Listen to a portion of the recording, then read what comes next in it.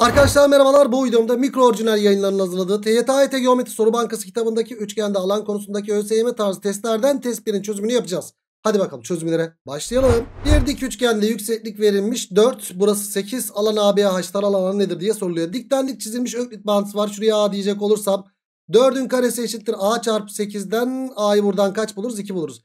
A2 ise taralı alan dik üçgen olduğu için 2 çarpı 4 bölü 2'dir. Yani cevap 4 çıkar. Birinci soru Akçay oldu. Geldik ki. Şimdi burada bir dik üçgen var. Hemen bir şey yapalım arkadaşlar. 30 60 90 üçgenini kullanalım. 30'un karşısı A ise 90'ın karşısı 2A'dır. Burası da A köküçtür. Şunlar birbirine eşit verilmiş. Yani burası da 2A. Pisagor. 2 kök 7'nin karesi eşittir nedir? A kök 3'ün karesi artı 2A'nın karesidir. Buradan 28 eşittir. 3A kare artı 4A kare 7A kare yapar. A kare 4 yapar. A'yı da böylelikle 2 buluruz. A2. Evet 2 iken şuradaki uzunluk kaç yaptı o zaman? 3A olduğundan 6 yaptı. Burası da 2 kök 3 yaptı. O zaman alan ABC 6 taban yükseklikte 2 kök 3 bölü 2 cevap ne yapacaktır? 6 kök 3 yapacaktır. İkinci soru Cihan yaptı. Geldik 3'e. 6 10 ne üçgeni 6 8 10 üçgeninden burası 8 oldu. Büyük üçgende de 8 var 17 var. 8 15 17 üçgeninden 15 olur yani buraya da 9 kaldı. Alan ABC isteniyor taralı alan. Bu taralı alan nedir? Tabanımız 9 iken tabanın tepesi burası ya. Tepeden çizilen yükseklik 8. Yani 9 çarpı 8 bölü 2. 72 bölü 2'den 36 yapar. Cevap Ceyhan oldu 3. soruda. Geldik 4'e. Ne yapacağız burada? Büyük üçgen bak 30 30 60 bu açının tamamı 60 derece. E burası o zaman 30 derece oldu. Şu açı 60 burası 30 90. Yani 90'ın karşısı 8 iken 30'un karşısı 4'tür. Hatta burası da 4 kök 3'tür. 30'dan 60'a geçiş. E, küçük üçgende de beyaz üçgende de 90'ın karşısı 4 iken 30'un karşısı 2'dir. Burası da 2 kök 3'tür. Parçalı alan ne yapacağız? Büyük alandan beyaz alanı çıkartacağız. Büyük alan nedir? 4 kök 3 çarpı 4 bölü 2. 4 kök 3 çarpı 4 bölü 2 eksi bu alan beyaz alan. 2 çarpı 2 kök 3 bölü 2. Bu 8 kök 3 eksi 2 kök 3'ten cevap 6 kök 3 çıkacaktır. Yani cevap Balıkesir oldu 4. soruda. Geldik 5'e. Evet oranlamalar verilmiş. BD uzunluğu K iken burası 3K verilmiş. Hemen şu K'ya 3K'yı yazıyoruz yerine. 3K ve K. E burası da A, A. A'da kalan 12 ise tepe noktası burası iken A'da kalan 12'dir. Sonra 3K'daki alandan K'daki alana geçeceğim. Yalnız K'da kalan bu tepe noktası A'ya kadar bakacağız. 3K'da kalan 24. 8 katı. 8 katı o zaman burası da 8 olacaktır. Alan ABD'de böylelikle 8 yapar. Cevap Denizli oldu. Geldik 6'ya. AD uzunluğu 6 verilmiş. BC uzunluğu 12 verilmiş. Bak taban ve tabana ait yükseklik var. 12 çarpı 6 bölü 2'den biz alana ulaşırız. Aynı zamanda şu CE uzunluğu da 8 verilmiş. Bizden AB mi isteniyor? Evet. X tabanına ait yükseklikte 8 olduğu için bu üçgenin alanı aynı zamanda x çarpı 8 bölü 2 eşittir. Bölü 2'ler gitti mi gitti. 4'e bölsen 3 2 2'ye bölsen 3 3 kere 3 9 x'i böylelikle 9 olarak buluruz. Cevap Akçay çıktı 6. soruda. Geldik 7'ye. İki paralel doğru arasında üçgenler verilmiş. Yüksekleri aynı olduğu için tabanlarıyla doğru orantılıdır. 2'de kalan 2A iken 3'te kalan 3A 4 5'te kalan da 5A'dır.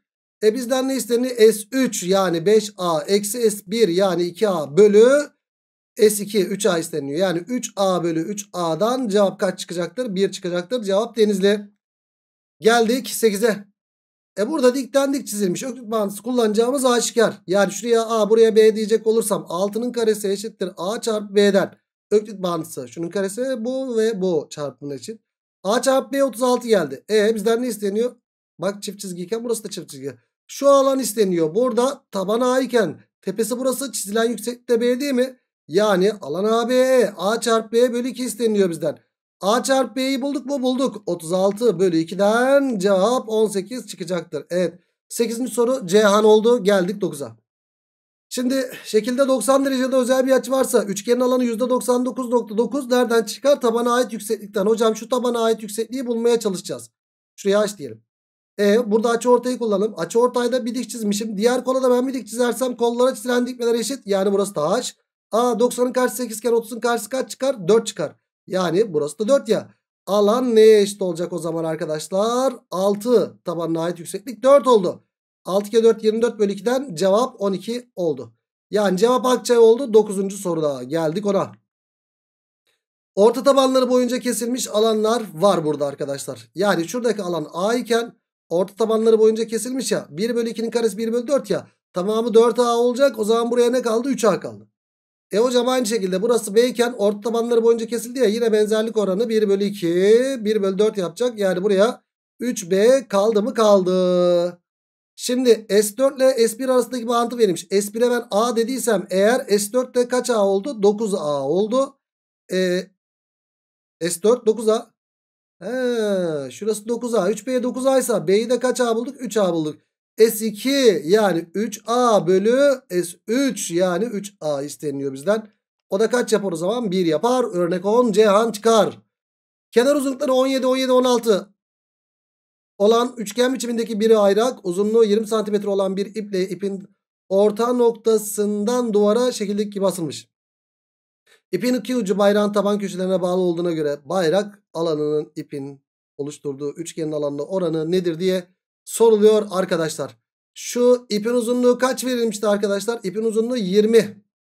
Yani bunlar 10 ohm yaptı. Evet. E o zaman bu üçgenin alanı bulacağız. Hop tabana ait yükseklik çizersek 8 8 burası 6.